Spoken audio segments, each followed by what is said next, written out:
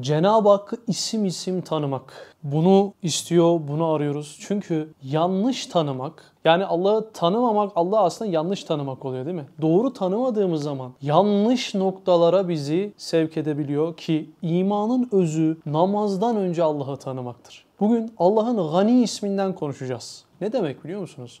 Gani kullarına ikram etmeyi çok seven demek. İşte camiden çıktın, camiye bir yardımda bulundun. Bazen deseler ki ya çıkar bin lira, iki bin lira para ver. Versen bile için acır değil mi? Veya biri tam böyle yemek yiyeceksin, karnın çok aç. Abi dedi yarısını ver. Belki çıkarır verirsin vicdanından ama verirken böyle için bir burkulur ya işte bizim de karnımız açtı falan deyip sıkıntıya girersin. Verirken sıkıntıya girdiğimiz o anlar var ya Gani ismi bunun tam aksine. Verirken bundan lezzet alan demektir. Bir gün bir abimizle sofraya oturduğumuzda kendisi yemiyordu. Ağzımızın adeta içine bakıyordu. Beğendiler mi? Sevdiler mi? Ondan dolayı mutlu oldular mı diye. Ondan aldığımız lezzetin ne boyutta aldığımıza gözümüzün içine bakarak bizi izliyordu ve ondan lezzet alıp almadığımızı merak ediyor. Abi süper olmuş, abi eline sağlık deyince de ondan o kadar keyif alıyordu ki anlatamam. İşte bu an Gani isminin bir tecellisi. Allah kullarına ihsan etmekte, vermekte çok mutlu olan, vermekten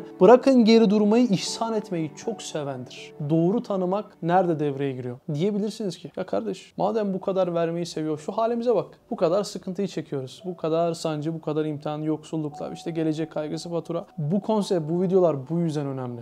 Doğru tanımadığımız zaman o olaylar karşısındaki zanlar bizi yanlışa sevk eder. Ve bu yanlış düşünceler bizim Allah'la aramıza mesafe koyar. Dedik ya Allah vermekten çok hoşnut olandır. O zaman niye vermez? Demek ki Allah'ı tanıyan biri, bu kadar vermeyi sevdiğini gören biri şunu demeli. Allah burada vermiyorsa benim iyiliğimi olmak zorunda. Bakın bu bir teslimiyet cümlesi gibi durabilir ama altını dolduracağız şimdi. Dikkat edin. Allah'ın vermekte ne kadar iyi olduğuna bir bakalım önce. Sonra vermemesinin ne kadar güzel olduğunu çok net anlarız. Mesela Allah verirken dikkat edin dost düşman ayırt etmiyor. Düşmanlarına bile çok cömert davranıyor. Bakın Firavun'a, bakın Karun'a, bakın Nemrut'a. Zamanın en iyileri yani bugünün dünya otoritesi kimse zamanının en iyi otorite kurmuş insanları bunlar. Firavun'a verilen mülk koca bir Mısır'ın saltanatı. Peki Firavun nasıl biri? Ben ilahım diyen biri. Yani Allah'ın en nefret ettiği şey harama bakmamız değil. Allah'ın en nefret ettiği şey namaz kılmamak bile değil. Allah'ın en nefret ettiği şey şirk. Ve bunu severek yapan bir adam. İlah olduğunu iddia eden bir adam. Allah'ın en sevmediğini en severek yapan birine Allah Mısır'ı vermiş.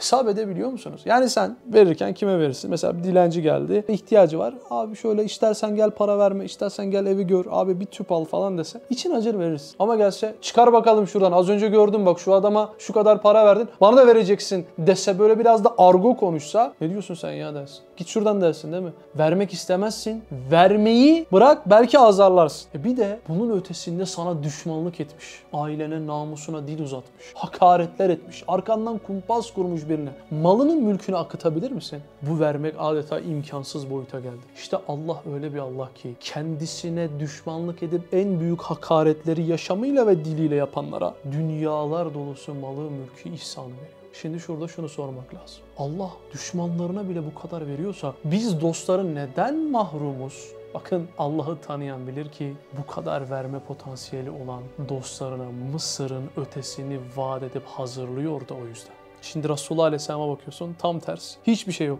dünyada. E o zaman bir şey olmalı. Allah'ın dediği doğru olmalı. Allah'ın dediği gibi Allah sizin için ahireti murad etmektedir. Sonsuzu murad etmektedir. Allah sizin için ebedi saltanatları, köşkleri murad etmektedir. Size bunları vermek istemektedir ama siz dünyaya talipsiniz. Şimdi ben ısrarla dünyayı isterken Allah da diyor ki hayır ben senin daha ötesini kazanmanı istiyorum. Kerem olmak, gani olmak bunu gerektirir. Düşmanlarına bile verebiliyor. Dostlarına ki en yakın, en çok sevdiği Allah Resulü Aleyhisselam ona dünyada hiçbir şey vermemiş neredeyse. E o zaman biz de diyoruz ki böyle verme potansiyeli olan dünyanın ötesini verecek de o yüzden. Hatta deli bile haşa kendisine ihsan edeni kovacak, kendisini çok seveni yerle yeksan edecek, kendine düşmanlık edip namusuna dil uzatana verecek. Bunu kimse yapmaz. Ve Allah hiç yapmaz. Allah alimdir. Allah'ın ilmi kainatla ortadadır. Bilgisi bütün yarattığı işlerle ortadadır. Böyle bilgili biri, böyle cahilane bir işe haşa zaten yapmaz. Demek ki senin göremediğin Allah'ın çok iyi gördüğü bildiği bir şey var. Ebediyet. Şu an sen her şeyi dünyayla sınırlamışsın. Bütün dünyan burası olmuş. E Allah da bütün dünyan burası olmasın, her şey yerle yeksan olmasın, işin sonunda ölümle mahvolmasın diye bu dünyada sana sonsuzu arattıracak bu sıkıntıları veriyor. Dikkat et. Bu sıkıntılar sana sonsuzu arattırıyor. Gani olan sana sonsuzu hazırlıyor. Diyorsun ki versin. Tamam da her vermek ihsan ve kerem değildir ki. Şimdi uyuşturucu bağımlısı bir çocuk çıkarsa dese ki anne baba bana bin lira para verin. Bakıyorsun veriyorsun. Harbi gidiyor kullanıyor kendine zarar veriyor. Kullanıyor. Ya en son dersin değil mi? Ona bunu vermemek hayırlıdır. Birine her zaman vermek hayırlı olmaz. Ona vermemek hayırlıdır. Bir tane şeker hastası çocuk ağlasa bağırsa anne bana bir çikolata al veya baba bana bir gofret al. Ya o koca babanın cüzdanındaki paradan işte maaşından bir gofret ne olacak değil mi yani? Bir gofret mi onu eksiltecek? Vermez. Niye vermez? Hazinesinden eksildiğinden çocuğunu sevmediğinden değil. Bir gofret ona ağır geldiğinden falan değil ya. Çocuğunu düşündüğünden vermez. Biz uyuşturucu bağımlısı gibi dünyaya bağlanmışız. Şeker hastası bir çocuk gibi kendimize zarar olacak, sonsuzumuzu mahvedecek şeyi ısrarla istiyoruz. Allah da vermeyi çok istiyor, çok seviyor. E o zaman bize zarar olan bir şeyi vermeyi çok seven biri niye versin? Aksine fayda olacak bir şeyi bize vermeyi tercih ediyor. Allah dünyayı vermiyor çünkü bize zarar edecek.